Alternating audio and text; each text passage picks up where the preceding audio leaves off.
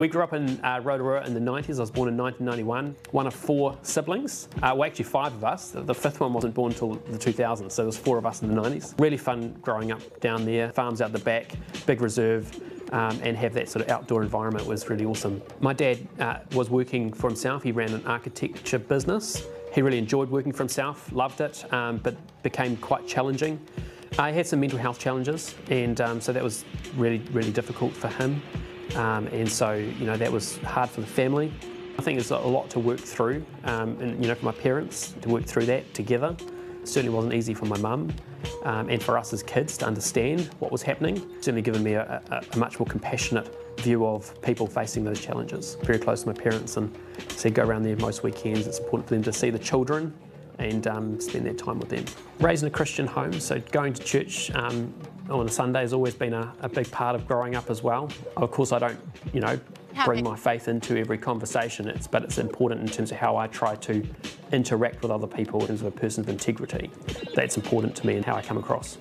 Moving to Auckland at the age of 12, uh, I think there's a lot of opportunities moving up here.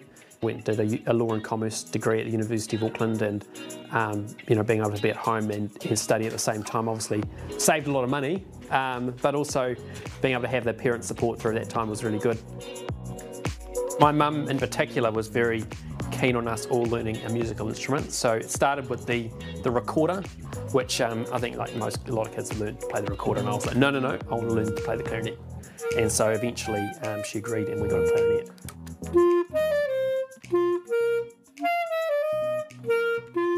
Look, that's pretty bad, isn't it? That's pretty bad. Look, that'll be that'll make good TV, but um, pretty bad um, a rendition of Ave, Ave Maria.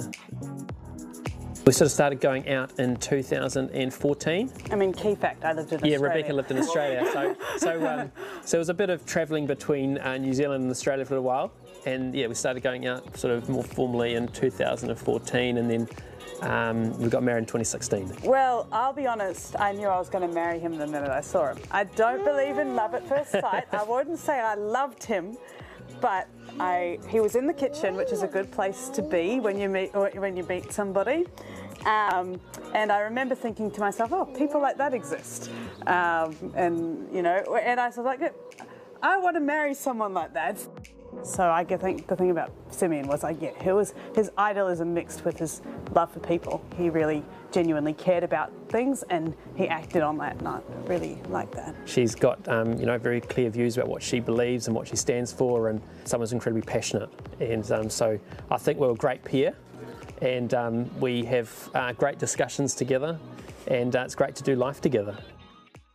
So I joined the National Party um, when I was 18, 19, last year of high school and um, you know John Key was going to become Prime Minister soon, so it was all very, very cool and fun to be part of those campa early campaigns. Then stood for the Pakuranga nomination when Maurice Williamson stood down and got selected here.